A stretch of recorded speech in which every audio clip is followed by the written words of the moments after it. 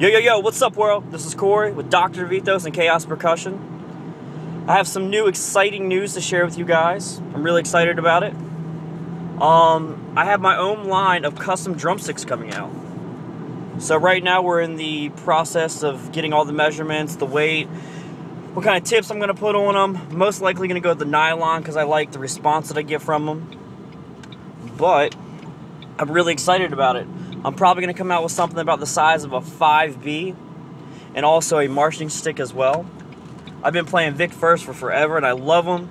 Um, but with this company, at least I'm going to be able to give them a call, get exactly what I'm looking for. If I need anything custom for any of my students, because um, I teach all ages, so um, if I need anything custom for my students, I'll be able to do that as well. So I'm just really looking forward to it.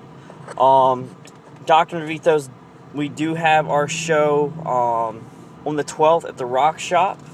So it should be a blast. Really looking forward to it.